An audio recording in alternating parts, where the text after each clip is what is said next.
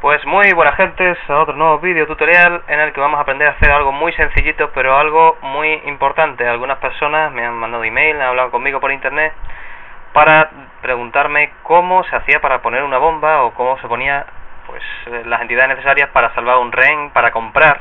Son cosas muy básicas en el Counter Strike y bueno pues se tarda nada en explicarlo, prácticamente un par de minutos. Todo eh, todo lo que tiene que ver con, con zonas, como zona de compra, zona de, de poner bombas, zona de rescate de rehenes, todo pues va relacionado con la, la textura trigger y pues con un sólido que delimite esa misma zona. O sea, no, no hay ninguna entidad de estas de, de cliquear y poner, no. Todo va con sólidos. Así que vamos a crear en un momento pues una zona de compra, por ejemplo, para los antiterroristas que tenemos aquí.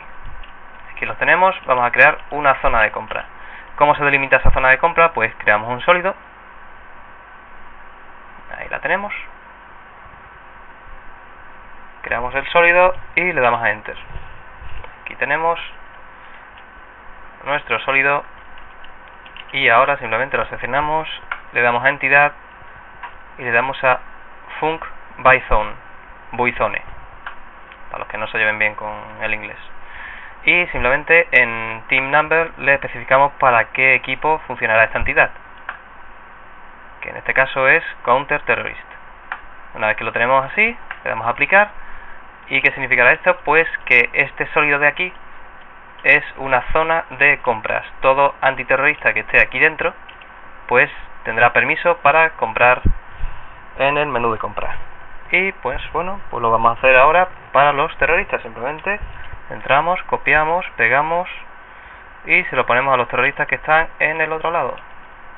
Aquí lo tenemos pero tal como está configurado ahora mismo solo los antiterroristas pueden comprar aquí. Así que nos metemos en las propiedades y cambiamos counter terrorist por terrorist. Le damos a aplicar y punto. Señores aquí tenemos ya una zona de compra para terroristas y otra para antiterroristas. Así de fácil pues siguiendo esta regla de tres, ¿cómo se crea una zona de bomba? Pues creamos otro trigger, un sólido. Aquí lo tenemos, en la zona de en medio, y esta quiero que sea pues una zona de bomba. Simplemente le damos a entidad y nos vamos a la entidad func bomb target. No hace falta ni que pongamos nombre, le damos a aplicar y ya tenemos una zona de compra. Todo terrorista que pase por aquí dentro y que tenga una bomba podrá ponerla. Podemos poner tantas como queramos, eso sí. Tengamos un poco de piedad por los antiterroristas. Y pues, siguiendo la misma regla de tres, ¿cómo se crea una zona de, de rescate de rehenes? Pues, creamos otro trigger, tenemos aquí, entramos en las propiedades y nos vamos a func, lo tenemos hostage rescue ni, ni propiedades ni nada, solo el nombre y ni siquiera eso es necesario. Le damos a aplicar y ya tenemos aquí una zona de rescate para rehenes. Lo único que nos hace falta son los rehenes, pero eso los colocamos donde nos dé la gana del mapa. Pues sí señores, así de fácil. Aquí una zona de compra, una zona para poner bombas y una, una zona de rescate de rehenes. Así de fácil, no hace falta nada más. Es una cosa muy sencilla, pero muy a tener en cuenta a la hora de hacer un buen mapa para el Counter-Strike. Porque tanto Ice World ya me está tocando los fin, señores, esto es un mini tutorial que no hace falta ni compilarlo ni nada. Se ve todo perfectamente. Así que nada, hacer vuestros mapitas para el Counter Strike.